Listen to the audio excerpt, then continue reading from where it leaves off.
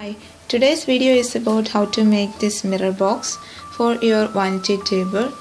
It is very easy to make, so elegant and it really gives a charm to your vanity table.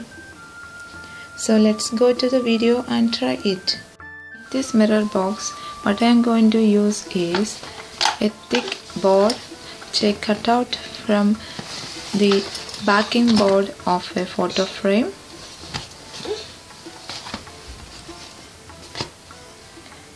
four square mirrors.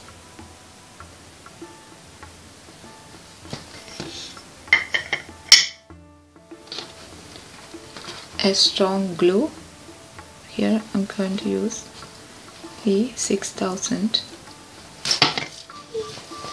cloth tape. This is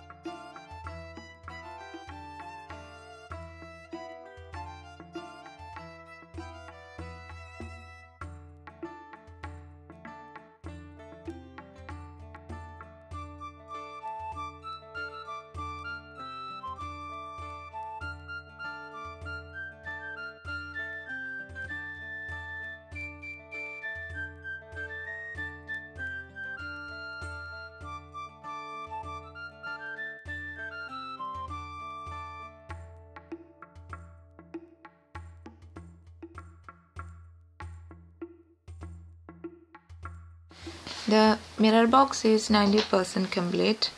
I used the E- E6000 uh, to attach the bottom board uh, uh, to the mirrors and uh, at the edges I used all-purpose adhesive which dries so quick and it will not collapse during the uh, time